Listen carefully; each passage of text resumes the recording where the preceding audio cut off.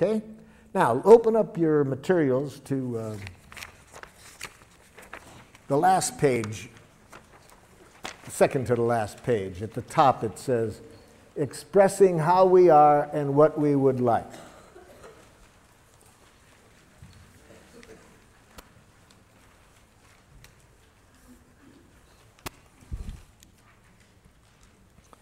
And it says under A, think of someone who does something that makes life less than wonderful for you. So, this person that I'm asking you to think about, who's presently behaving in a way you're not crazy about, and what I'd like you to do is answer this question. Write here one thing that the person does that you don't like. We're going to work on one specific action that the person does that you don't like to get you familiar with the process today. Maybe the person does several things, but we're going to show you how the process works by showing you how to communicate with the person about one specific thing they do. So, right under A, one thing this person does that you don't like. Now, when I was uh, here in San Francisco working with the school system back in the 70s, the superintendent of schools asked me to go into an elementary school. He said the parents are complaining about the quality of relationship between these teachers and the administrator. They said the tension in the school is so great that the parents want to take their children out of the school. So he asked if I would go in and see if I could open up better communication between the staff and the administrator the plan was I would meet first with the teachers and then get the teachers and the administrator together. So in my meeting with the teachers, I started with the question that I just asked you. I said to the teachers, Can you tell me one thing that the administrator does that makes it hard for you to work with him? I was asking for an observation, a concrete behavior. What is one thing he does? The first teacher to respond said this he has a big mouth.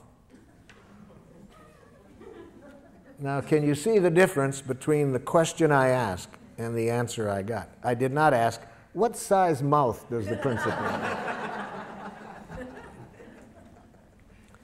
so, this teacher was giving me an evaluation, an analysis that implies wrongness. You see, we've been so trained to think that way that sometimes we can't separate fact and opinion. We, all we see is our enemy image. See, whether it's an individual or a nation, we have been trained to think in enemy images, wrongness. And it, it obscures reality. We, we don't see the behavior, we just see our enemy image. In his book, Out of Weakness, Andrew Schmookler says that when cultures are taught to think this way, not to just see the person, but to, an image, a judgment they've made, bombs are never far away, you see. So I pointed this out to the gentleman that this was not an answer to my question. I wanted to know one thing the principal did. This man was stuck. He, he, he just couldn't get it. The woman sitting next to him tried to help. She says, Well, I know what he's referring to. I said, Okay, help him out. What, what's one thing that the principal does? He talks too much. No, too much is a judgment. I ask for an observation, not a judgment. See, this, this is how jackal speaking people think. They really have been brought up to think there is such a thing as a just right amount of everything. and too much and too little and that they know what it is. See? So they think that way. It doesn't make resolving conflicts too easy with them when people have an idea that there's a right and a too much and a too little and they know what it is. And especially when they mix it up with an observation. I was just asking, what does the person do? And again, for the second time, this person couldn't see the behavior separate from the judgment. A third person tried to help. Well, I know what they're talking about. Okay, what? He thinks he's the only one that has anything worth saying. No, telling me what you think he thinks is an uh, evaluation you're making of what you think is going on in his head.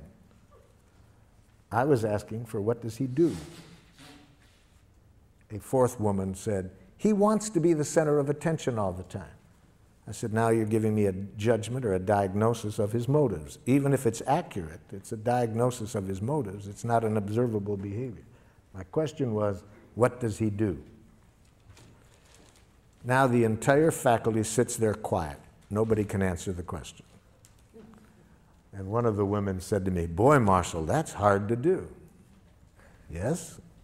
In fact, the philosopher Krishnamurti says that to observe without evaluating is the highest form of human intelligence. So, those of us who have been taught to think in these enemy images immediately, to think right, wrong, good, bad, normal, abnormal, appropriate, inappropriate, to this, to that, we can't see reality. All we see is our enemy images.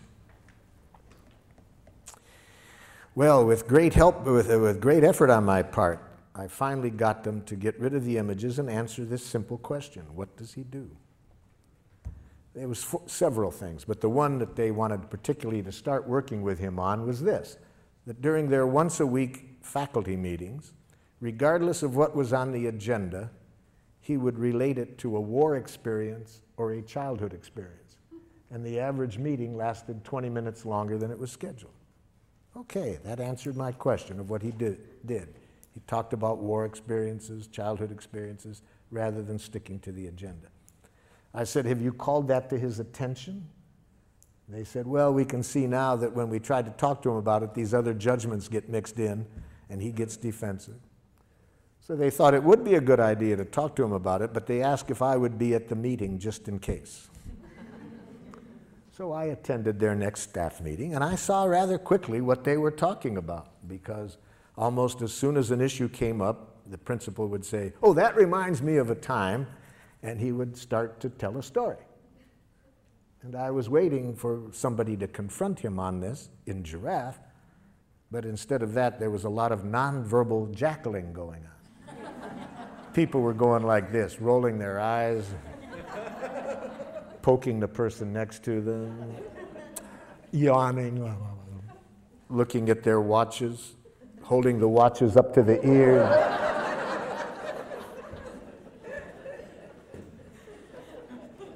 And I watched this scenario going on for a while, and I said, Excuse me, but isn't somebody going to say something?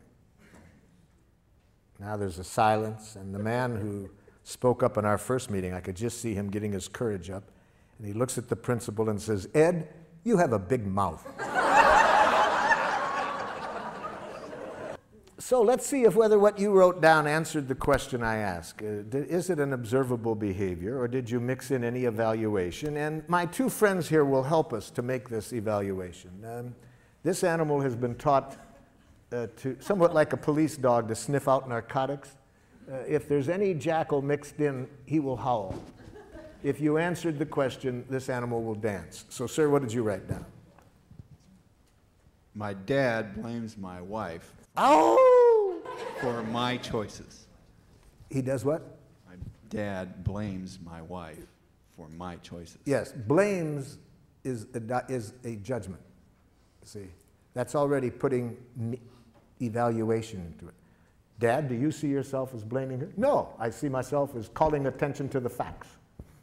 So, see, Dad doesn't see that as blaming. No, I'm educating. Thank you, Dad. Yes, okay. So, how do we say it? See, we need a direct quote.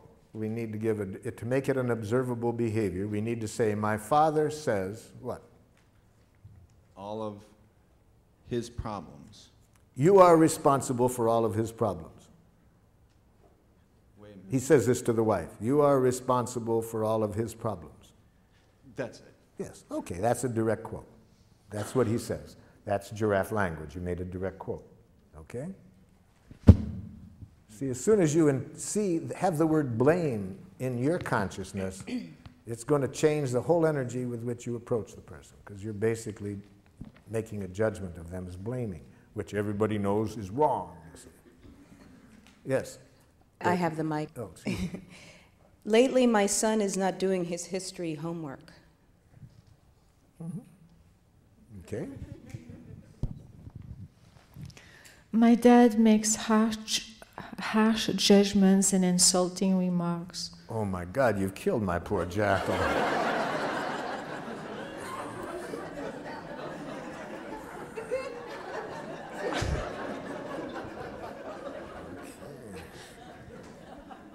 He could have handled the harsh, that was one judgment, but insulting, harsh and insulting, you know, see, you know, those are two judgments that Actually, he does use insulting words. no, there is no such thing. After today, in fact, seriously, by 4:30 this afternoon, you will never hear another insult. It won't exist. Insults will not exist. I'm going to show you to use some technology today that takes insults and criticism out of the waves, airwaves. So that no matter what your father says, you can never hear another harsh statement or another insult, because we're going to show you today how to use this technology.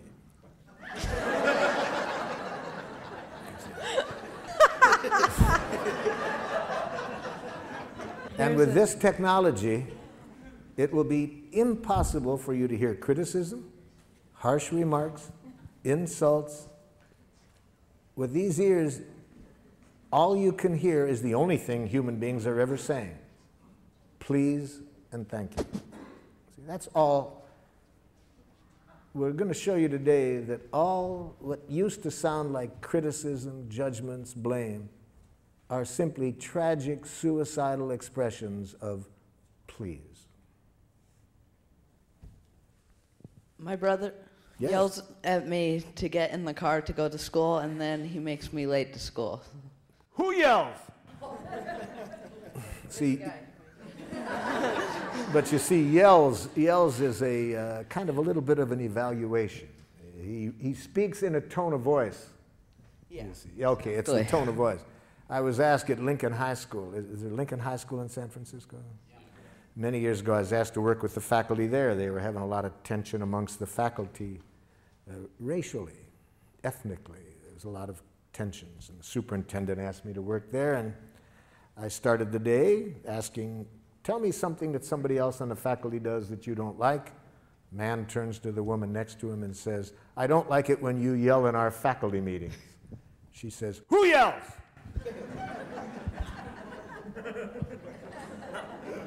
now, she was from a different culture than this man.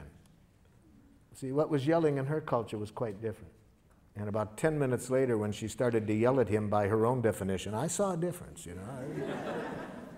so raises the voice when he's asking you to get ready for school. Yes. yeah. Or just kind of gets angry at me to get in the Now, gets angry, uh, that's maybe accurate, but it's a diagnosis. We don't know whether he's angry. He might be scared that, you know, you're going to miss school. It might sound to you like angry. Maybe it is, maybe it isn't, but raises the voice, has smoke coming out of his ears. that, that you can see, you see. That's observable. Yes. Uh, Fifth grader uh, Jesse refuses to do his seat work. Oh! Refuses is a diagnosis. Maybe an accurate diagnosis, but it doesn't tell me what he does. It, it He just says, No, I don't want to do it. says, no, I don't want to do it. That's the behavior.